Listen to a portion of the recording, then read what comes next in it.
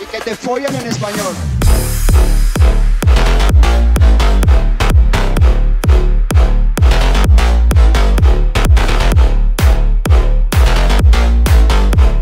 Muy buenas a todos, soy Doverdan. Hoy me acompaña alguien que descubrió el arte de las artes marciales mixtas a través de una pantalla, señoras y señores. Alguien que se ha hecho a sí mismo un guerrero del Climen Club. Hoy tengo el gusto de presentar al gran Héctor Aka, el Mecos. Un Antes de nada, muchísimas placer, gracias por concederme esta entrevista, hermano, por venir a mi canal. Como siempre, vamos a empezar desde abajo, si no te importa, para que la gente conozca un poquito más a Héctor. ¿Te parece? Sí, me parece. Empecemos, hemos venido aquí, a Alicante, al castillo, al skatepark, porque me has dicho que tienes un pasado con la tabla. Yo no sé si tú sabes que yo fui roller Me lo has contado. y me gustaría que nos dijeras un poquito quién fue Héctor cuando eras pequeño y cómo descubriste las artes marciales mixtas, cómo llegaron a tu vida. A ver, yo de pequeño se me daba bien el deporte. Era futbolista, pero la verdad es que de futbolista era malísimo. Era malísimo. Era defensa y era malísimo. Y lo dejé. Dije, esto no me convence. Y probé el skate. Y el skate, la verdad es que me estaba muy enganchado, me gustaba. Y a lo mejor me matan mis padres ahora, pero bueno. Un día una casa se quedó sola de unos colegas y estuvimos ahí, pues época skater, porritos, tal. Y dijo un colega, vamos a poner, vamos a encender la play, vamos a jugar a un juego. Dije, venga, vamos.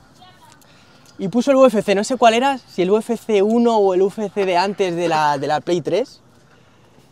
Y dije, hostia, chaval, ¿y este juego? Sí, porque Personas de la Play 2 no era, ¿no? No, de la 2 no, era o de la 3 o de la 4 nada más empezar. Y digo, joder, si esto está guapísimo, gente tatuada, fuerte, digo, yo quiero, yo quiero ser uno de esos. y desde ese entonces me, me miré a un gimnasio, no era de MMA, era de Muay Thai, pero dije, venga, voy voy a probar. ¿Cuántos años tenías ahí, Héctor? Tendría 17, el skate lo dejé a los 17, que justo lo dejé cuando empecé, cuando empecé el Muay Thai. Empecé en un gimnasio de barrio que hacía solo, solo hacía Muay Thai. Dije, venga, voy a probar. Probé, me gustó. Estuve un año ahí, luego no estaba muy a tope. Pasó el verano que trabajé de socorrista y, y paré de, de entrenar. Luego como que me volví a enganchar. Dije, voy a probar otra vez. Y cuando volví, añadieron Jiu-Jitsu. Jiu-Jitsu, Sí. Jiu-Jitsu. Y dije, venga, voy a probar el Jiu-Jitsu. Claro, como yo, mi idea era la MMA, Claro, necesitabas. dije, venga, voy a probar tal. Probé y compaginé eh, Muay Thai con Jiu-Jitsu. Y hasta entonces. Vale, dos cositas he sacado de lo que me acabas de decir. Porritos y skatepark. No, digo esto porque para mí es muy importante también que la gente vea lo que hay detrás. Y por supuesto, Jiu-Jitsu. Corrígeme si me equivoco, ¿vale, Héctor? Eras un niño picante, por así decirlo. Eh, todos hemos pasado por ahí. Muy picante. Muy picante. Opa, opa, opa, cuidadico, cuidadico, cuidadico, cuidadico con el mecos. Cuidadito con el mecos. Hasta que el kimono llegó a tu vida, ¿verdad? Porque una vez imagino que probaste el jiu-jitsu, viste los valores que representan y la fuerza física hay que tener para poder realizar este, este bonito deporte, imagino que todo eso se te fue por el desagüe, cambiaste tu vida a raíz de- del jiu-jitsu y del deporte, ¿es así? Sí. Dicho esto, me gustaría saber qué significa para ti ser luchador. Así rápidamente. Ahora mismo, ser luchador es mi vida. Si yo ahora mismo vivo para ser luchador, no veo otra cosa. Si pudieras volver atrás, ¿lo cambiarías por cualquier otra cosa? No, para nada, para nada. ¿Y por ser Tony Hawk?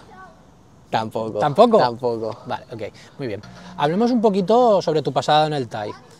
Cuando pegabas codazos y rodillazos como si fueras Fuatang, ¿ok? Vale. ¿Cuántas peleas has hecho en Thai? En Thai he hecho 15 peleas. 15. 15 de Muay Thai. ¿Con un récord de? ¡Fua! Pues no sé qué decirte. 15 peleas. Un récord ¿Positivo? positivo, sí, ¿Positivo? pero ¡buah! a saber. Ok, tú siempre positivo, nunca negativo. ¿Y cómo fue? Dos preguntas. ¿Cómo fue tu cambio de los guantes por las guantillas y por qué? Ahora más adelante llegaremos a el por qué decidiste Alicante y cómo ha sido todo ese camino.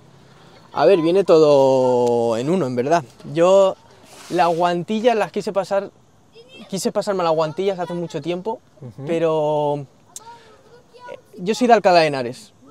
Y en Alcalá de Henares no es que no hay gimnasio de, de MMA. Había uno, pero no es un gimnasio de MMA. Y era viajar a Madrid. Viajar a Madrid, ir a un gimnasio de MMA de Madrid.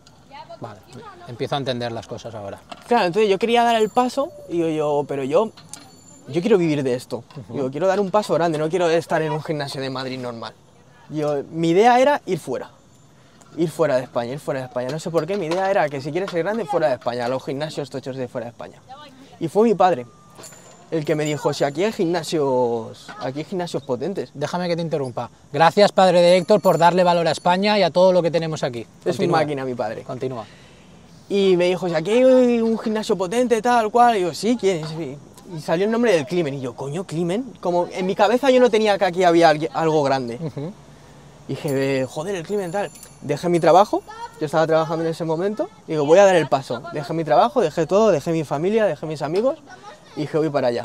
¿Te viniste solo a Alicante? O sea, Solo. Cogiste el petate Solo. y te viniste solo con la tabla de skate. No, la te tabla viniste ya con la tabla de skate desde Madrid. La, ¿no? tabla ya la había dejado. Y te viniste simplemente para, para entrenar en el gimnasio Climent Club Sí. con tus compañeros, con el gran maestro Jorge y Agustín Climent. Tremendos huevos. Vale, pero vamos a ver, de algo tendrías que vivir, ¿no? De algo tendrías que comer. O sea, cuando tú llegaste aquí, ¿qué tenías? ¿Tenías trabajo aquí en Alicante ya Tenía- buscado? no, no, ¿Tenías no tenía amigo? trabajo. ¿Tenías algo? No tenía trabajo, tenía dinero ahorrado y estuve un, un año, dos años trabajando y me dio el paro, conseguí el paro y con ese paro me vine para acá, estuve un, un tiempo sin trabajar y luego ahora mismo estoy trabajando en una discoteca. O sea, que te gastaste todos tus ahorros por cumplir tu sueño. Sí, justo. Vale, y ahora estás trabajando en una discoteca. Luego me la dices para ver si tengo barra libre, por lo menos, ¿vale? Ya la conoces. Está muy bien. Vale. Vamos a ponernos un poquito intensos, ¿vale? Si no te importa. Me gustaría saber qué haces para llegar a final de mes y cómo de duro es llegar a final de mes teniendo dos trabajos. El trabajo que realizas todos los días en el gimnasio y el que haces los fines de semana en la discoteca aguantando a los pesados y a los borrachos. A ver, es duro, pero al final es lo que hay. Si quieres entrenar a tope como un profesional y, y poder vivir de ello, al final tienes que trabajar en lo que sea fines de semana, por la noche o donde sea, pero que te permita entrenar. No, no puedes permitirte un trabajo de media jornada de lunes a viernes, no, porque tienes que entrenar mañanas y tardes. Claro. Entonces necesitas un trabajo, pues eso, de fin de semana. Fin de semana por la noche, que te dé dinero, la noche da dinero. Así Sí, que- pero me hace gracia cómo lo decís vosotros porque lo contáis todo con una facilidad asombrosa. Al final tú no tienes tiempo para ti. O sea, tu tiempo lo dedicas a cumplir tu sueño y el tiempo libre lo dedicas a poder ganar dinero para seguir cumpliendo ese sueño. Yo creo que para mí es importante mencionarlo y que la gente sepa lo que hay detrás. Ahora mismo estás cumpliendo tu sueño, creo que es algo importante. Ok, ¿Cuántas veces has pensado en dejarlo? Porque vamos a ver, si estás aquí en Alicante y tienes tu familia en Madrid, tiene que ser difícil, ¿no? A ver, antes sí pensaba en dejarlo. A lo mejor alguna derrota, tal, sí pensaba en dejarlo, pero he llegado ya tan lejos. O sea, ahora estoy viviendo, como tú dices, en Alicante, sin nadie, aquí solo, solo por el deporte. Ahora mismo no, es- nunca pienso en dejarlo. Ahora es todo una línea recta. Supongo que tendrás a alguien que te ayude cada mañana cuando te despiertas a motivarte y no dejarlo todo, ¿no? ¿Quién es esa persona? Mi familia. Mi, la verdad es que mi padre y mi madre, mi hermana también, un poco menos porque mi hermana sí es verdad que va por su bola y yo por la mía, pero la verdad es que mi padre y mi madre eh, es un pilar fundamental en mi vida. ¿Papá o mamá? ¿A quién elegirías? A los dos. Te he desmontado A ahí, los ¿eh? dos. Ok. Vale, empezaste con un ligero tropiezo en tu etapa como luchador de MMA. Sobre esto me gustaría saber qué aprendiste, ya que después de esa derrota, de esas dos derrotas, vinieron una racha de cinco peleas y tu actitud, sobre todo, cambió una barbaridad. Me gustaría saber el porqué de todo eso. A ver, yo cuando vine, la primera derrota es la que más me afectó. Vine aquí, lo dejé todo y Jorge me buscó una pelea en el WAR. Disculpa, ¿cuánto tiempo pasó desde que llegaste hasta tu primera pelea? Para que la gente Dos meses, dos entienda. meses, dos meses, dos meses y medio, no pasó mucho. Es importante mencionarlo también. Y la pelea la perdí por KO en el segundo asalto y la verdad es que ahí sí que me vine abajo porque yo le he dejado todo. eh, no, no valgo para esto, no sé qué. Sí, entraron las dudas. Sí. Normal. Pero al final, a ver, voy a ser repetitivo, pero es que al final otra vez sale mi es, que padre. es, es que es así, claro. Sale mi padre y me dice que, que me ve bien, que siga con esto, que siga para adelante, que no me venga abajo. Y venga, ya a tope. Seguí entrenando, mañanas y tardes, mañanas y tardes, mañanas y tardes, y fue el primer campeonato de España que, que hice. Y lo perdí también con, por, por triángulo, por finalización, contra el campeón, que fue en ese año Lian Arjona. Pero no me lo tomé tan mal. Me lo tomé como, bueno, Sí, tú sigue entrenando y ya vendrán los resultados. era, era una derrota, entre comillas, que se podía esperar, ya que tu nivel en ese momento ¿no? de suelo tal Sí. vez no era eh, tu mejor fuerte, entonces digamos que el, el KO sí que te, te- te dolió más porque es donde tú mejor te sentías. ¿no? Yo creo que es importante también ser transparente y decirlo y sobre todo cómo mejoraste a, a ra- a raíz de esa, de esa derrota. Sí, y a partir de, de esa derrota, yo digo, por mis cojones, que, que voy a ganar. Seguí entrenando y al final, pues, cinco, una racha de cinco victorias. Y a día de hoy estás con un Un 6-3. porque Tapology no falla.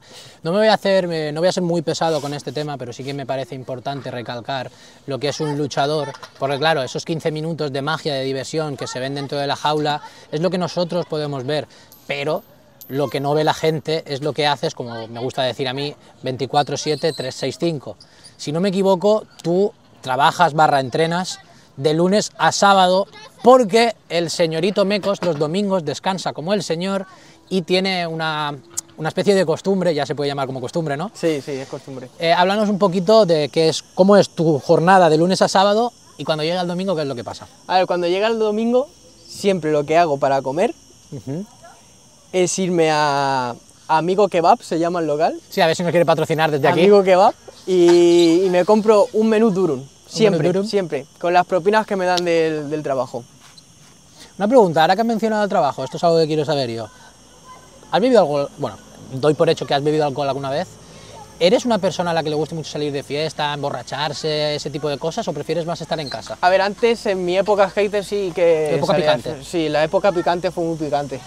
y sí que bebía. Pero desde que empecé en deporte no, no es que no me gusta nada la fiesta. No ¿Dirías que el gusta. deporte ha cambiado tu vida? Sí, sí, ¿Estás completamente, completamente. La verdad es que no... Ahora mismo salir de fiesta no... Me aburre. Como que no estoy en mi entorno. Y Héctor, yo sé que tú vienes del TAI, por supuesto, entonces no te voy a preguntar nada sobre eso, es evidente dónde está tu punto fuerte, eso es así, pero sí que te voy a preguntar una pregunta que me gusta hacerle a mucha gente, es si tuvieras que poner por porcentajes eh, sobre importancia, uno, físico, donde engloba el físico y el cardio, dos, la técnica y tres, el aspecto mental. ¿Cómo lo pondrías? ¿Cómo lo rankearías en porcentajes? A ver, la mentalidad yo creo que es la más importante. La mentalidad, la mentalidad es un 50%. Y lo demás ya pues 25, depende del 25, tipo ¿no? de peleador que seas. Exacto. No sé si sabes, imagino que sí, que todos los luchadores coincidís en lo mismo. No sé si desde fuera se verá igual, pero todos los luchadores coincidís que lo más importante es la mentalidad. Tal vez la gente desde fuera piense que lo más importante está aquí No, para nada. y no es así. Me gustaría, me parece importante recalcarlo. Oye, ¿y cuál es tu sumisión preferida? Mi sumisión preferida, Pff, eh, la guillotina o el mataleón. No suelen ser muy complicadas, ¿no? Bueno, la guillotina depende, pero que si te metes en MMA y te lo metes a la guardia, Claro. depende si sacas una guillotina, pero bueno, eso es otro tema aparte. Metámonos ya de pleno con WoW, ¿te parece? Vale, Hablamos un poquito de WoW. vale. ¿Hay alguien al que le quieras enviar un mensaje o, alguna persona con la que te gustaría pelear? Tienes la cámara. A ver, un mensaje pues a mi próximo rival, ¿no? Que peleo el 30 de septiembre en el Palacio Vista Alegre. Así que es contra la Pantera Jacomé. Así que prepárate bien porque va a ser una buena guerra. Te voy a decir más. ¿Cuándo crees que va a terminar la pelea? ¿Cuándo crees que vas a finalizar la pelea? A ver, si fuese una pelea rounds de 5 minutos, en el primer round. Pero si no es al final del primero, al principio del segundo. Vale, llevas 6-3 a día de hoy en amateur, 7 con el permiso del rival, al cual me encantaría, por supuesto, charlar con él. Desde aquí le envío un fuerte saludo. Me gustaría saber qué nos depara el futuro con el Mecos. ¿Cuándo te vamos a poder ver, por ejemplo, en profesional? A ver, mi idea era hacer el campeonato de España, este último que hice, y pasar a profesional, pero al final firmé un contrato con el WoW y me pide una o dos amateur y ya pasar a profesional. Pero mi idea es estar en profesional lo antes posible. Ok. Hablemos un poquito sobre WoW. Para mí, bueno, para mí no es la verdad. A día de hoy es la promotora que mejor está haciendo las cosas. Yo considero que es la mejor promotora de España. Me parece incluso que está a un nivel parecido a Ares, incluso Cage Warriors, cosas así, para que la gente se haga una idea. Te voy a preguntar sobre Bala Capoeira. Para mí, Bala Dana White, Bala, Bala White es alguien que está haciendo muy bien las cosas. ¿Cómo ves el futuro del MMA español y qué significa para ti luchar en la compañía a día de hoy más importante de España? A ver, como compañía la verdad es que lo está haciendo increíble porque WoW no lleva, no lleva mucho tiempo. No. Lleva poco y está creciendo que cada vez pelear en un palacio, en el Palacio Vista Alegre, aquí en España, me parece increíble. Y pelear yo en él, vamos, encantado. Bajo tu punto de vista, ¿qué consideras que está haciendo WoW mejor que las demás promotoras para posicionarse como se ha posicionado a día de hoy en España? A ver, el marketing influye mucho y el tener a los luchadores contentos. Si al final no tienes a los luchadores contentos, no tienes a los mejores y no tienes cómo venderte. ¿Podríamos decir que WoW se preocupa por cada uno de sus luchadores y por ofrecer un buen espectáculo? Sí, yo creo que sí. Yo- a mí la verdad es que no me han tratado mal. Parece importante porque creo que el MMA en España está creciendo y es importante. Ok, ¿piensas en UFC? Sí. Evidentemente, Siempre. como cualquier luchador. Vale, hablemos un poquito sobre eso, si no te importa, Vale. ¿ok? ¿Sientes presión por venir de donde vienes, entrenar donde entrenas, por llegar, o es como si fuera obligado llegar a UFC? ¿O consideras que, por ejemplo, hay otras, otras ligas como puedan ser PFL, Cage Warriors, Bellator, incluso Octagon, de las que se puede vivir y no tienes ninguna presión? Simplemente es algo que va a llegar con el tiempo. Yo presión no tengo. Yo voy y voy a tope y, y ya está. No una presión de si no llego se me va a acabar la vida. No, yo bastantes ligas. El objetivo es el objetivo, pero yo no tengo ninguna presión. A disfrutar del camino. Has mencionado antes que vienes de Alcalá de Henares. ¿Eres de Madrid o de Madrid? Soy de Alcalá de Henares. Grande, eso me ha encantado. muy De hecho, tengo aquí la torre de la capilla del oidor tatuada de Alcalá de Henares. Antes de venirme a Alicante me la tatué. Ah, pues un saludo para toda la gente de Alcalá de Henares. Ya sabéis lo que tenéis que hacer, suscribiros todos a mi canal. Eh, te iba a preguntar, si no te importa, y si te importa me da igual, Héctor, ¿qué significa para ti la familia del Climen Club y qué ha aportado en tu juego? A ver, lo bueno del Climen Club es que somos amigos, no somos compañeros, somos amigos. Nos y lo malo, ¿no? Lo bueno también, y lo malo. también, también. Nos apoyamos tanto fuera como dentro del gimnasio, en las redes sociales nos apoyamos, nos compartimos y al final yo creo que eso hace el equipo grande, el remar todos juntos. Si di- dijeras, te voy a dar tres nombres, ¿vale? Porque hay varios. ¿Quiénes son para ti, a día de hoy, quitando por supuesto al gran Alexander Stropuria? ¿Quién serían los tres próximos luchadores del Climen Club en llegar a UFC? Si tú fueras Dana White. Mm, Pepe Torres y Salah. ¿Y el otro? Ah, tres. Pepe Torres, Salah y Manguelo. Me gusta. Me gusta y estoy seguro de que lo van a lograr. Esperemos con suerte que sea para UFC España. Dana, Spain, is coming. Ok. Hablemos un poquito más sobre cómo son los entrenamientos del Climen Club. El logo es precioso y además Alicante es un paraíso, pero el Climen no es Disneylandia, ¿verdad? ¿Cómo son los entrenamientos? Ah, los entrenamientos en el Climen son duros. Eh, todos vamos a por todas y si vas a medio gas, pues, pues olvídate. El Climen Club, todos los entrenamientos vamos a tope. Vamos, esto es una pregunta que ya sé que tiene la respuesta. Tu peor rival eres tú mismo. ¿Crees que hay alguien en España que pueda hacer sombra al equipo que está conformando a día de hoy el Climbing Club? ¿Aquí en España? No, no. Siendo sinceros, ¿eh? No, sinceramente no. Yo no lo veo. Esto va para, para el Héctor, que estaba en Alcalá de Henares pensando en que tenía que salir de España para poder encontrar nivel. La pregunta está hecha. ¿Consideras que en España todavía no tenemos el nivel suficiente o crees que tenemos una falsa humildad y no somos conscientes de lo que tenemos todavía? Tenemos un... En España tenemos un nivel bastante bueno, bastante alto. Este verano estuviste a punto de disputar el evento, el segundo evento de Jordi Wild Tournament, en el cual te ibas a cagar a piñas, como les gusta decir a los argentinos, a mano desnuda, ¿es así? Sí, eh, iba a pelear pero se cayó el evento. Bueno, Pero era la primera pelea que iba a hacer sin guantes. hablemos sobre eso.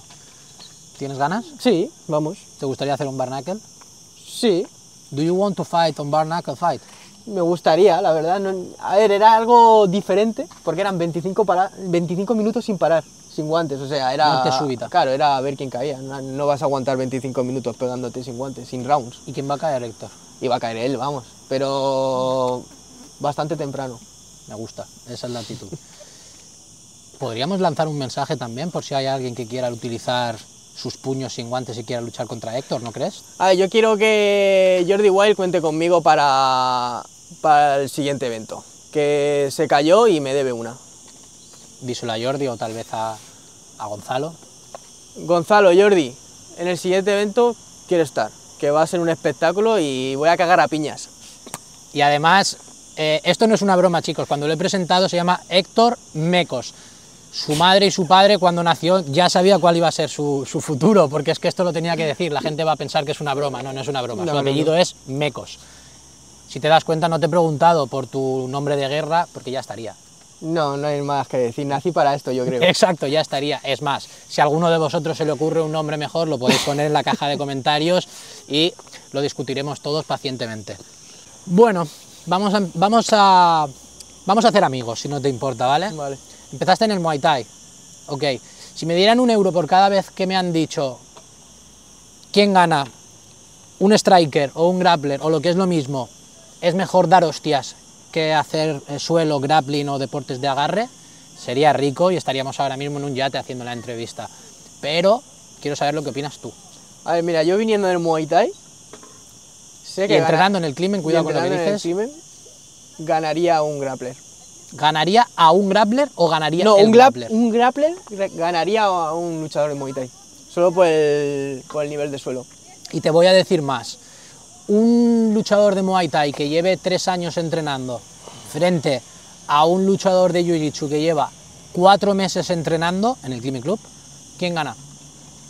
Seis años entrenando Seis Pero años nada de suelo. Seis años puro Muay Thai en el suelo. Es que al final contra tres, cuatro meses de Jiu-Jitsu. el suelo. Al final si no entiendes de suelo estás perdido. Por mucho que sepas pegar, arriba Y bueno, aprovecho para decir una pelea que no tiene reglas, ¿dónde se suele, dónde se suele acabar o cómo suelen acabar En las peleas? En el suelo y en un enganchón. Entonces, toda esta historieta te, la Sí. te lo he dicho para decirte, si tuvieras que elegir un arte marcial a día de hoy para tener nociones y tener una para saber defenderte, ¿cuál sería? A ver, yo elegiría la lucha. Y de verdad que nunca he entrenado lucha.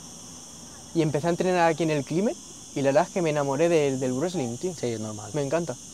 Es normal porque al final la lucha, aparte de que te da una técnica brutal, una fuerza, una resistencia, y al final es un deporte que cagarse a piñas, todo el mundo sabe mover el brazo y tirar una piña justo. con cintura es un cintura, entonces me parece importante que, que lo dejáis. Ok, hemos hablado sobre el skate, pero yo no tengo ni idea de cuál es tu nivel.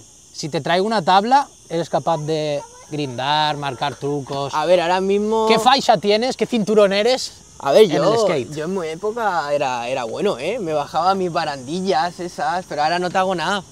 ¿Cuántos likes tenemos que pedir para que nos bajes una barandilla? ¿Cuántos likes pides tú? Pues ¿Una barandilla? 100. He dicho una barandilla por decir algo. Una barandilla es complicado ahora, ¿eh? Pero no me puedes decir que es complicado, estamos en directo, hermano. Tú di que sí y luego ya que sea lo que Dios quiera. Si te partes la boca no importa. Vale, vale. pues Claro, hermano, vale. claro. Te baja la barandilla, ¿no? Sí, sí, me la Claro, bajo, claro, bajo. claro. Me la bajo. Ya sabéis, chicos, si llegamos a 100 likes, ah, si llegamos a 100 likes, Héctor Meco se parte la boca contra una barandilla con un Sí, skate. sí. Tenerlo claro. Otra cosita así suelta. ¿Qué prefieres? ¿Un puñetazo en el estómago o una patada en la cabeza? Puñetazo en el estómago. ¿Sí? Sí. Vale, ok. Bueno. Bueno, hemos hablado un poquito sobre tus inicios, tu pasado, tu presente y tu futuro. Sé dónde estás entrenando a día de hoy, pero para mí es importante sacar quién fue la primera persona, quién fue tu primer maestro y desde aquí enviarle un fuerte saludo. Sí, con- a ver, mi primer maestro ahora mismo es, es un amigo. Mi primer maestro es David Gilbert, Gilbert, como le llamaban allí. Y la verdad es que es un amigo y siempre que voy para allá me pone manoplas, entrenamos y fue mi primer entrenador y la verdad es, es, es el que me enseñó el Muay Thai que tengo ahora. ¿Qué significa para ti el Muay Thai? No esto es una pregunta que nunca lo he preguntado, supongo que es lo mismo, ¿no? A ver, para mí el Muay Thai es un arte marcial. Yo empecé el Muay Thai, pero ya sabía lo que quería. En verdad quería MMA, pero empecé el Muay Thai por estar en Alcalá de Henares, el único gimnasio que había. Luego me metí a Jiu-Jitsu, pero es un, un arte marcial. Empezaste Muay Thai porque eras un chico picante, lo has dicho antes, Meco. Sí. Ok, pues por mi parte esto es todo, espero que te haya gustado, te lo has pasado bien. Sí, me lo he pasado genial. Hay una cosa que le suelo preguntar a todo el mundo, por supuesto no, voy a- no va a ser menos contigo, y es, ¿cuál crees que debería de ser mi siguiente entrevista? Siguiente entrevista. Mientras no me digas Obama, Mm, ¿O Abascal? Vale, pues. Pedro Sánchez. Pedro Sánchez. Sí. Bueno, tal vez le podemos invitar al primer club y tirarle un par de, de table legs. ¿No? Tal vez. No, ahora en serio, ¿quién crees que debería de ser mi siguiente entrevista? Entrevista. ¿Te lo puedo tirar bien alto? Tíramelo como quieras, yo lo intentaré. A, a mi, mi luchador favorito, ¿Qué es? Israel Adesanya. Israel Adesanya. Sí. Joder, te lo has tirado, pero Sí. bueno, lo intentaré. Si hacen la entrevista con Adesanya, yo me bajo la barra. Esa de ahí. Sí, solo. Si le hago una entrevista con Adesanya, te la bajas en pelotas. vale, vale. ok, pues ya sabéis chicos, esto ha sido todo por mi parte. Por supuesto que me he dejado muchísimas preguntas y muchas cuestiones sin saber. Por supuesto me lo podéis poner en la caja de comentarios. Y si queréis tener una charla más suelta, más coloquial y preguntar vosotros lo que queráis, lo podéis hacer a través de mi canal de Twitch, por supuesto. Os pondré todas las redes sociales abajo en la descripción. Esto ha sido todo, así que no te calles,